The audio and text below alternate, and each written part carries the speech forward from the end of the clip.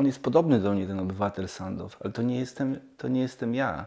E, Zresztą, y, gdyby pan mnie zmusił do takiego wysiłku, żebym zmierzył proporcje, oddzielił e, siebie wymyślonego od Sandowa, to ja bym nie umiał tego zrobić, ponieważ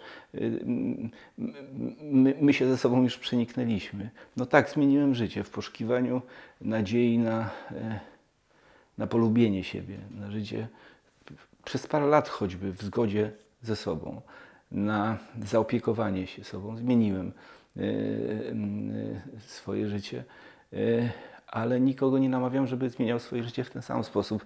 Nie piszę o sobie jako fantastycznym facecie, który dostąpił nowych możliwości. Piszę o sobie jako o draniu, który strasznie cierpi. Jeśli piszę o sobie, bo czasem piszę o Sandowie. Ale jest tam taki, y, po- powiedziałbym, y, y, element w tej książce, który ja bym nazwał taki psychoanalityczny. To znaczy, mam takie poczucie, że to jest pewnego rodzaju pańskie rozliczenie się z tym, że, że jakoś muszę sobie tą zmianę wytłumaczyć. Nie wiem, może źle to zinterpretowałem. Że ja sobie próbuję tę zmianę wytłumaczyć. Tak, że pan ze sobą No wewnętrznie naturalnie, próbuje rozmawiać. naturalnie, naturalnie, że, że tak, ale nie uczyniłbym świadkami tej rozmowy czytelników, gdybym nie zatroszczył się e, o nich w tym sensie, że to jest rzecz e, fajna do czytania, że to jest e, rzecz nasycona e, tajemnicą, a poza tym mam nadzieję, e, dowiem się od czytelników, przyzwoicie napisana.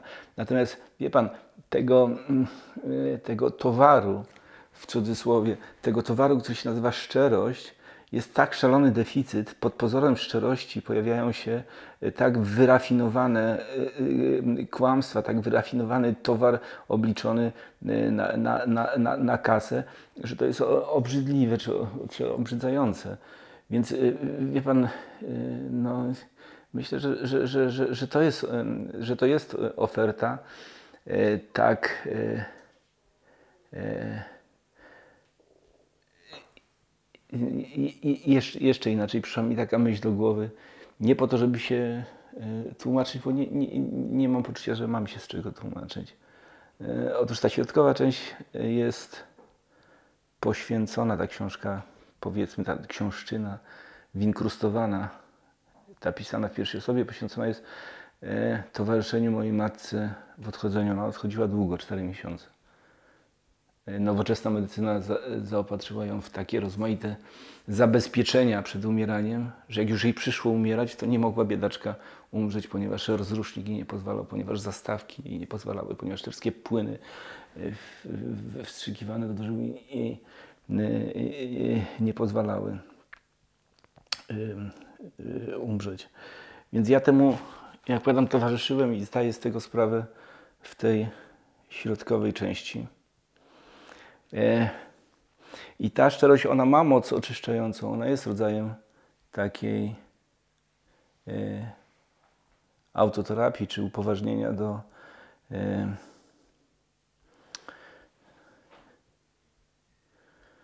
hmm. Proszę mi zadać jakieś pytanie, które pozwoli mi to ominąć, bo to się robi szczerość areburu, taka szczerość, odwrócona szczerość, której, z którą się coraz gorzej czuję przed pańską ka- kamerą. Y, Wie pan, y, nawet taka uwaga, że oto autor zamilkł i nie zechciał już dalej rozmawiać, ciągnąć wątku, który zaczął, y, też opisuje, jak, dobrze jego, jego człowieczeństwo, prawda? Więc gdybyśmy mogli ten wątek na chwilę zamknąć. To jest moja wściekłość, to jest moja frustracja. E, Ona mnie opisuje i moment, w którym jestem w życiu bardzo dobrze. Ja jestem wściekły na e, siebie najbardziej. E, wściekły jestem na świat, który mi zabrał moją mamę. E, to niesprawiedliwe, ponieważ widzę, e, kogo nie zabrał. Wściekły jestem na przyjaciół, którzy o mnie zapomnieli mm, i opuścili mnie w, w biedzie tak zwanej. Wściekły jestem na film, że nic mi z niego nie wraca, że to jest tak, że odkrywam tak szaloną nieopłacalność em, bycia, bycia reżyserem. Nieopłacalność oczywiście nie na tym piętrze, gdzie są pieniądze i pożytki takie materialne, tylko nieopłacalność taką ludzką. Ten, ta proporcja między tym, co się daje filmowi, a co od niego wraca, jest już tak y, potwornie zachwiana.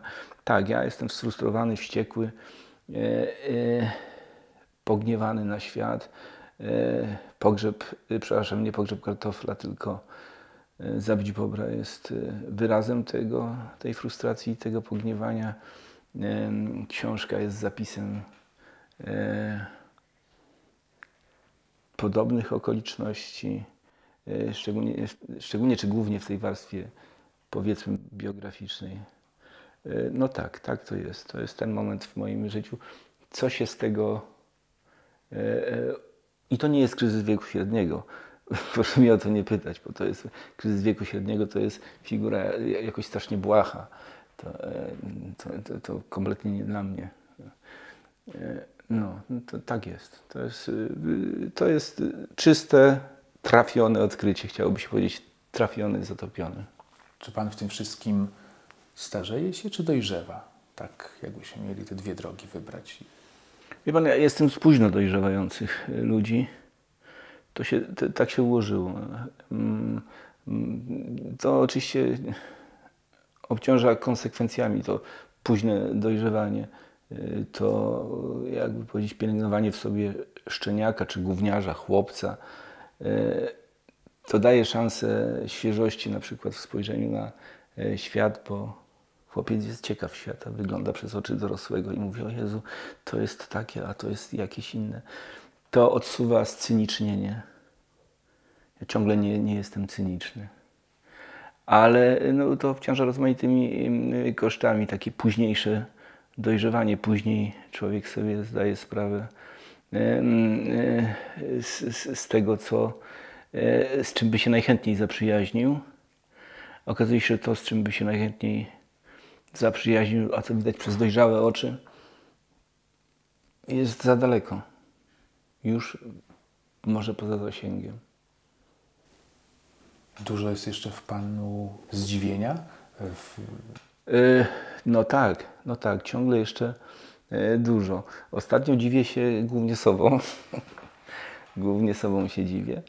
Y, Coraz mniej ochoty, żeby się tym zdziwieniem dzielić, a, a już na pewno najmniej, żeby się dzielić przez film. Y, Ale ciągle jeszcze dużo, dużo zdziwienia i mam nadzieję, że y, nie doświadczę zgorzknienia. Y, Doświadczam wkurzenia, frustracji. E, dojrzewam, nie doświadczam e, cynizmu i mam nadzieję e, nie, nie, nie dojść do tego momentu, kiedy już się tak patrzę takim olewającym wzrokiem na wszystko i się wzrusza ramionami i się mówi, no to jest, no tak jest. No, no i tu musiałbym użyć grubego słowa. Mm, No tak jest. A wie pan dlaczego żółw jest taki twardy? Bo jest taki miękki. To odleca. E, No więc e, dlatego żółw był taki twardy, dlatego żółw tak e, strasznie ćwiczył mięśnie i taki był gotowy się z każdym spierać, no bo jest taki, taki miękki. Taki drugi żółw, dwie dziewczynki w sukienkach, w kropki, e, to Krzyś Majchrzak. Takie dwa jesteśmy e, żółwie, które tą, tą, tą miękkość pod, pod skorpą usiłowały e, chronić. Jego 12 lat nie ma w polskim kinie. A ja o mało się nie rozsypałem z, z powodu uporu trwania przy, swojej, mm, przy swoim kinie.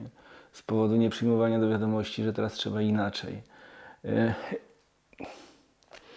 Coś takiego mi przychodzi do głowy, że wewnątrz tego, co robimy, i Krzysztof, i ja, jesteśmy bardzo nowocześni. Wyprzedzamy czas. Pan sam się złapał na tym, że nie wiedział, kto e, zainicjował e, kino High Definition w Polsce, a to ja. Parę innych rzeczy udało mi się dotykać jako, pierwszy, jako pierwszemu twórcy.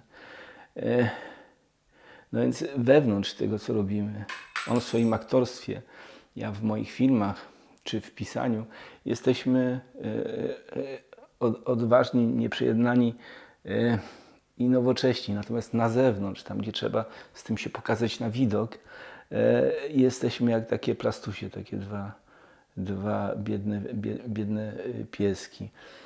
Ja postanowiłem podjąć próbę przy okazji promocji tej książki, żeby no żeby spróbować inaczej, żeby e, dać szansę temu głosowi, żeby e, zabrzmiał. Skoro Pan powiedział już o, o Krzysztofie Majchrzaku, czy spotkacie się jeszcze, czy spotykacie się? No tak, spotykamy się. Spotykamy się od czasu do czasu. Ja szykuję projekt, wobec którego on jest strasznie sceptyczny. Kręci mu się nosem, nie podoba się. To się nazywa Nauczyciel e, muzyki.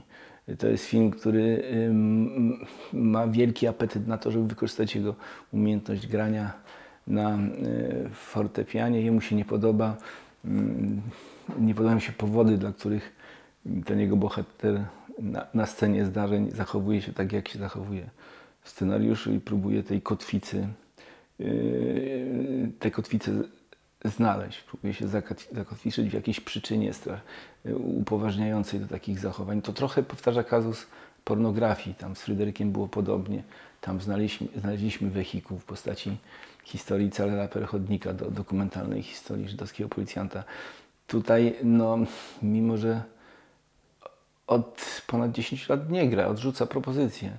Y, To jest tak samo uparty, tak samo nieprzejednany w, w, w, sprawie no, afektu. On chce powziąć afekt, afekt, on chce się zachwycić dopiero wtedy pójść za postacią, ale jest nadzieja, że, że to jakoś nam się sformatuje, że jakoś w konsekwencji Krzyś się pojawi nagranie, jakkolwiek ym, gdybym miał w procentach określać y, od 1 do 100 mój zapał do kina, to jest w okolicach zera teraz.